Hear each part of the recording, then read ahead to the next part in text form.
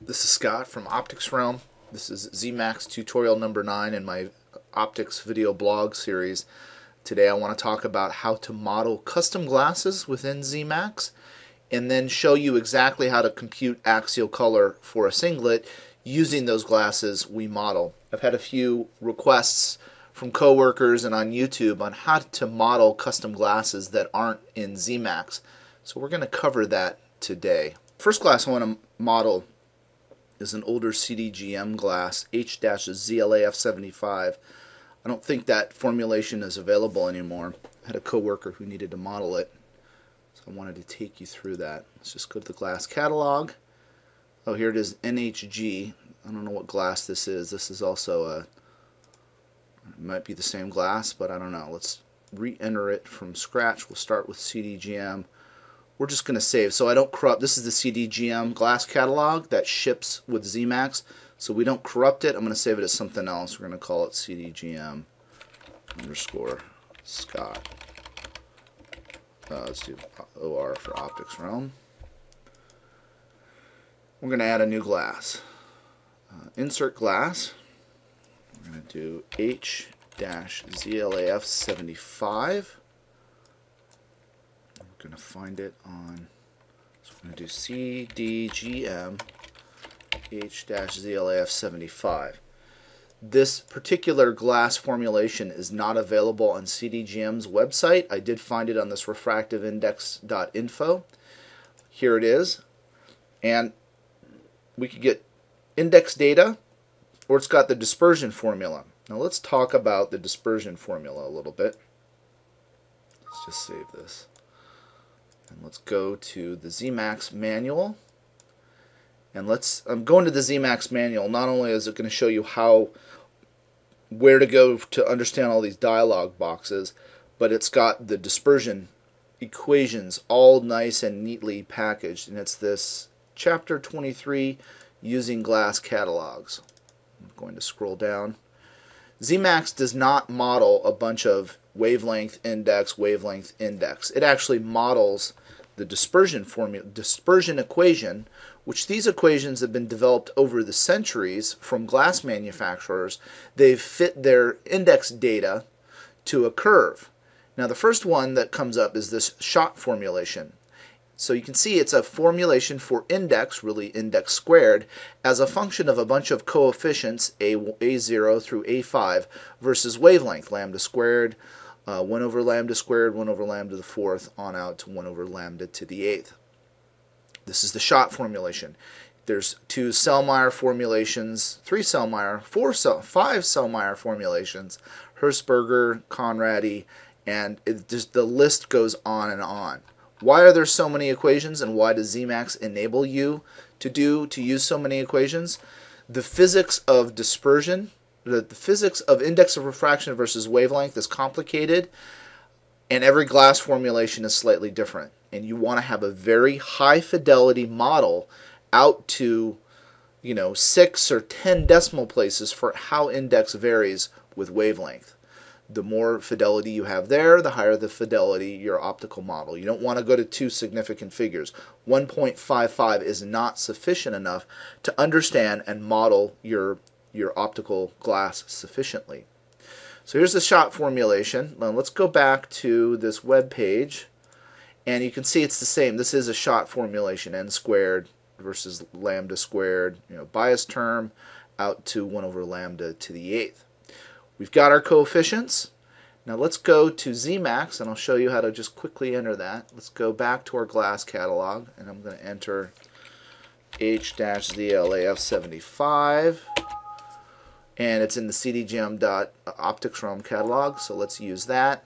Okay, we're getting an error message. We'll talk about that later. Hopefully I can purposely have that error message. Here's the coefficients, A0 through A5. And I think I can just copy and paste. Let's try that. 3, 4. Let's see if this works. Save the catalog and reload. Okay, so it's coming up. Let's go back. Let's get the second term and see there's a negative sign. I've got to account for that. Oops.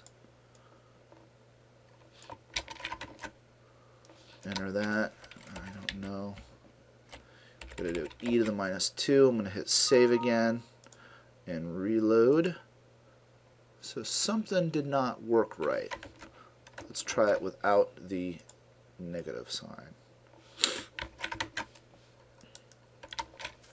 Let's just add the negative sign out front, change e to the minus 2. Save, reload. So we're losing the e to the minus 2. I don't know what happened there. e to the minus 2. Save and reload. Okay, so now it's taking it. 155. Let's do the next one. This is also to the minus 2, I believe, e to the minus 2. Yep. Let's do the next one. I won't copy the coefficient just to keep it clean. Paste. This is e to the minus 4. e to the minus 4. Ooh, e to the minus 3. Okay, e to the minus 3.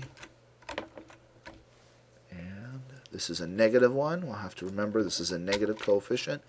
And the co uh, exponent is to the negative 5. Paste. We need a negative sign, and this is to the negative 5. Is that right? 5 negative 5. This last one is also a negative 5. It's a positive coefficient. Negative 5. Save. Okay, and reload. Now we're not computing an index and an Abbe. I'm going to hit exit and purposely get this error message. Wavelength 0.55 I've got one wavelength defined in my current lens, and it's 0.55. I'll verify that in a second. It's not within the valid range of the dispersion formula for HZLAF75. So let's go back, and indeed we're at 0.55. Let's select F, D, and C, 46, 587, 656, and it's going to give us these error messages. Let's fix that. Down here, on this dialog box, you've got a minimum wavelength and a maximum wavelength. Entering values in here are not going to change your index value at all. I could put minimum value um, an X-ray wavelength to a radio wave frequency and it's not going to vary, it's not going to change your index data. What this is doing, this is simply an error check. If, for instance, this these particular dispersion coefficients are fit over a wavelength range, you just want to make sure that you only model this glass over that wavelength range because outside this wavelength range, the, the data is going to go nuts. Who knows what the curve fitting is doing? Let's figure out where this is fit. This looks like it's fit from 365 to 1 micron, roughly 1 micron. So I'm just going to simply enter those here three. I think these are in wave uh, microns. 365 1.014. Uh, it doesn't matter. 014. We're gonna hit. We're gonna hit save. Okay, and I'm gonna hit. I'm gonna hit exit. I get no errors whatsoever. Let's just go back and verify. So we're saying that the index at the D light 587 1.903664. See, does that match? 190366. Okay, so that's matching. V sub D 31.32. V sub D 31.32. Okay, so this this is working out. This looks like we fit this sufficiently. So let's just hit exit. I'm going to design a singlet. Let's just quickly, I'm going to quickly uh, design one. Oops, I'm going to need to put aperture, let's do entrance pupil, let's do an aperture of 10 millimeters. Oh, I need a back. We're going to do a pickup, a marginal ray. And in the merit function editor, we're going to do focal length at wavelength 2. Let's just make this compact. So focal length at wavelength 2, we're going to give it, let's see, so we have a 10 millimeter aperture. Let's make it, uh, make it an f3. Give it a 30 millimeter focal length, a weight of 1. Control insert gives me the next line. I've got to insert default merit function. Oops, DMFS. And then I have to the last update of Zemax changed what your default merit function. It's not called default merit function anymore. It's called sequential merit function. I'm just going to do this rectangular array. All right. Right now we have a focal length of 60. Control. Oh, no variables. Can't optimize. Exit. Let's let this vary. Control Shift O. Optimize. Why is it not? Let's give it a Uh, something is wrong. Let's do F5. Why am I not?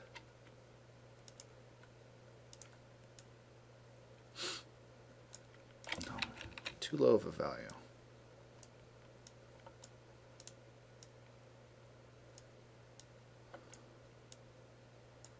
So 1e to the 3. I just kind of go nuts there drive it to the right focal length. Okay, 50. So we're we're roughly there. There's our there's our lens. It's an f5 lens with this HZLAF 75. And now I want to show you how to compute the axial color. In my optics tutorial number 9 video blog, I showed you how I showed you all the formulation for that. Uh, let me pull that up. So here's here's slide 20. Bunch of equations, but essentially your change in focus from one extreme, in this case we're doing F to C. So the wavelength the the focus change from the one extreme wavelength to the other, it's a very simple formulation. It's the focal length divided by the Abbe number.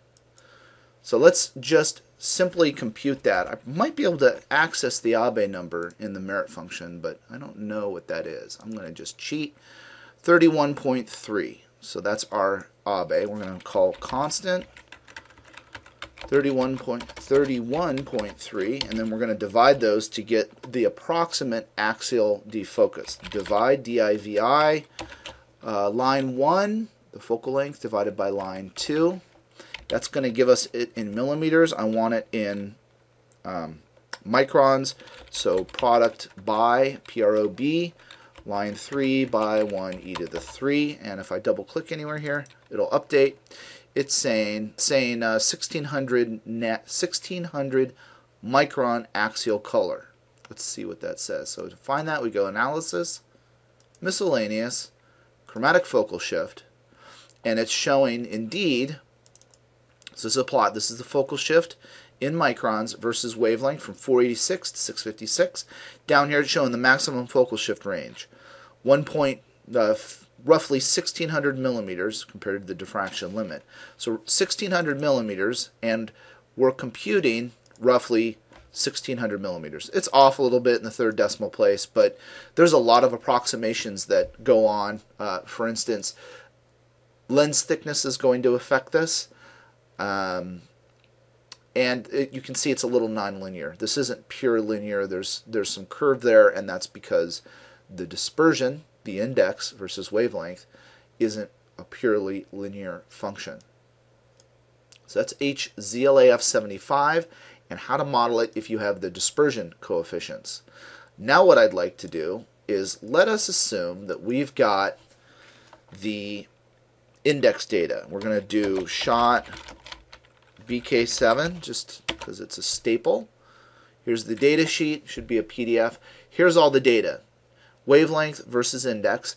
And just to do something different, we're actually going to do an index drop. If you do glass molding, if you've ever done glass molding, it kind of anneals the material and your index of refraction is going to drop, usually in the third decimal place somewhere.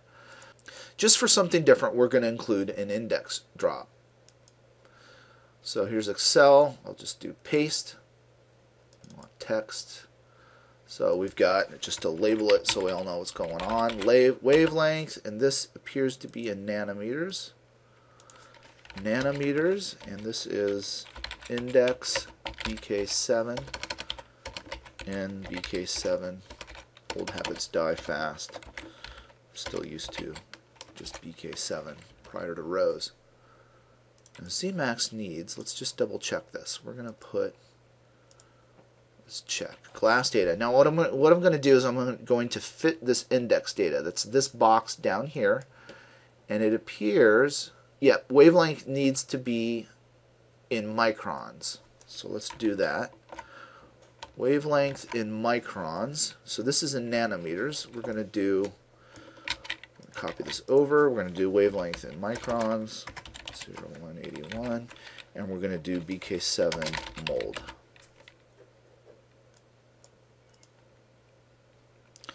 So let's see, I'm going to equal this divided by 1 e to the 3. And then let's just drop, let's assume the index drop is uniform over all wavelengths. Index drop, let's just call it, I don't know, 0 0.001234, just to be nuts there. So that's going to equal this minus this constant term, F4. We'll copy it down.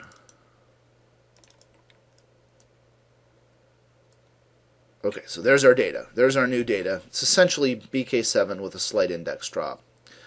I'm going to copy this. I'm going to go to a new notepad, paste, and let's just save it. On the desktop, we'll do N, see here, I did this already, in BK7 mold. We'll overwrite it. Okay, so there's our data. Okay, now before I load in all those index data, I think there's 20 data points here. I want to just try something interesting. Let's suppose that we've got, let's just try three wavelengths, right? So we've got that here, 486, 587, 656, 171615. I don't know where these came from. We're going to choose this Schott formulation and we're going to fit the index data. And it gives me an error message. Schott model needs at least six data points. And that makes sense because the formulation has six unknowns. If you want to solve for six unknowns, you need at least six knowns. Um, and the more knowns you have, the higher the fidelity your model. So you can't just do simply three data points. The more data, the better. So let's load this index data. It's on my desktop, NBK7 mold. Okay, so there it is. This appears to be right, page down. 20 index values. So we're going to, let's just fit, let's just go to Schott. Let's try another, formulation. Let's try Hertz Sellmeier, fit index data. So it's saying uh, an error, an RMS error out in the sixth decimal place and a max error in the fifth decimal place. Let's try Schott. Let's see what it does. Okay, so Schott isn't as good. RMS is actually um, in the fifth. So this Sellmeier is fitting a little better. Let's do that. Okay. Add to catalog. Oops, new glass. I don't want to call it new glass. New glass. Where'd it go? Dadgummit. New glass. I didn't want new glass. Let's change it to N-BK7 mold. And it's adjusted the minimum and maximum wavelengths. This is the Sellmeier. Everything looks copaesthetic. Save catalog. All right. So we're going to do, we're going to exit. We're going to change this to N-BK7 mold. And I'm just going to re-optimize because because the index changes, the focal length is going to change. There's our lens. Now, we have to update for what the Abbe is. Let's find out what that is. I'm going to cheat. It's just 6404. Exit 64.04 and let's double click to update. It's saying the for this molded BK7 with a 0.0012 index drop, it's going to have an axial defocus, an axial color, which is defocus versus wavelength of 780 microns. You know what? And we're going to cheat. We're going to make it a zero thickness lens. So it looks odd, but it's going to be a little more accurate. Let's refocus or uh, re-optimize. So we're exactly uh, 50, well to 2 sig figs, 50. Let's see what this says. 780 versus what Zemax is calculating 776. So I've shown you how to model lenses if you have discrete index versus wavelength, or if you have the dispersion coefficients. And I've shown you how to model the how to get the axial defocus through Zemax's chromatic focal shift analysis box. It's a mouthful. Homework is I'd like you to repeat this. For entering data, just go repeat the H-ZLAF75. And for computing the chromatic focal shift, I'd like you to repeat this exercise. This is an f5 lens, 50 millimeter focal length, but I want you to do it with SF2 uh, Schott N-SF2. Thanks for tuning in. Please subscribe to my channel. Tell your other uh, optics colleagues about me, and uh, please spread the word. Thanks for tuning in, and have a good day.